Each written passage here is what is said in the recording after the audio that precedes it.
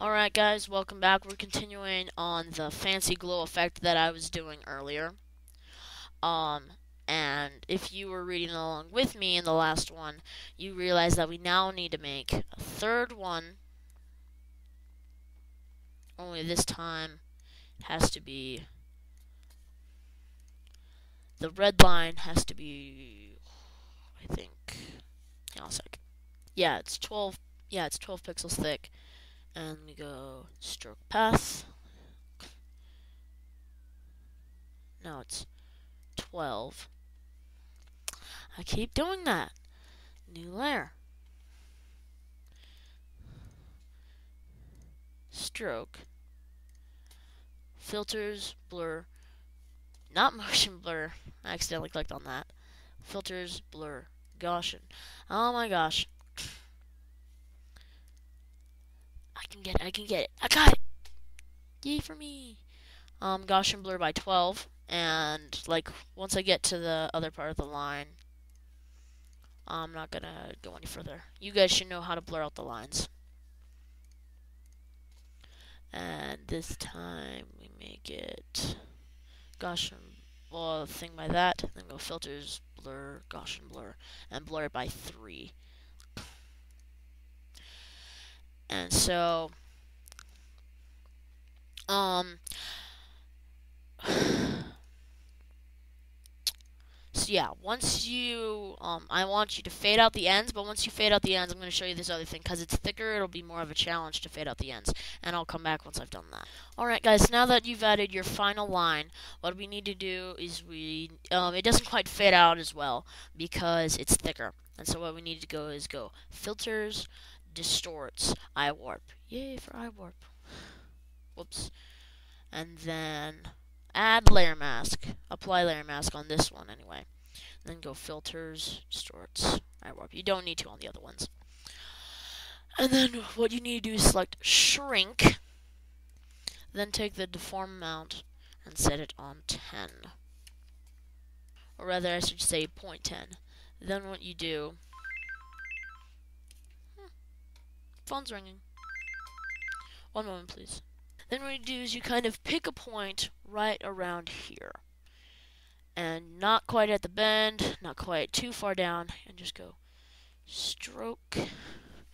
Then do the same on the other end. Kind of do that twice so you get this little whipping effect. So yeah, it should look better. And if you need to, you can apply that as many times as you want until it looks good. So I've got my effect where I'd like it, and we're going to go on to the next step. Now we're going to go on to the next step. Set your color to white by any means you feel like. Make a new layer on top of everything else. Ch the paintbrush tool, select fuzzy circle 15, and then put the scale all the way up to 10, and just draw three dots. Boom. boom. So you have this kind of blurry blotch right there. Then what you do is you take circle 13, the very next one down, and just get rid of that zero in there. And then just draw some white dots, random places. Make sure they don't overlap. So you have these little white dots right there. Then you go filters, distorts, ripple, and we're almost going to do what we did before. Leave them on default settings, so it kind of goes like that. We're almost going to do what we did with the background. Then we go up to Filters, Distorts, Whirl, and Pinch, and leave the settings on 360. So it goes like whoosh, kind of swirls in like that. Once you've got that already, you go over to the layer, you duplicate it once, and then you lock the pixels. Then we go over and choose that nice orangish red FD4000. Then what you can do is you can either take the fill bucket tool and just fill that in, or what you can do is you can drag the orange color. You should be able to drag it down anyway. Hmm. Anyway, just fill it in with that. Then you unlock transparent pixels. Then what you do is you go filters, blur, Gaussian blur, and you blur it by around 24. So you've got this kind of glowy effect. Duplicate that one once, and then move the white layer up to the top. Hmm. Mine's being weird. It won't let me move stuff. So you should have this kind of glowing effect.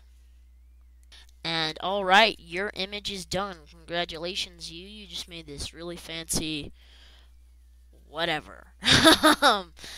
um, thank you. Um, I'm going to show you our fun finished image in a little bit. Alright, guys. Here is your finished image. At least it should be.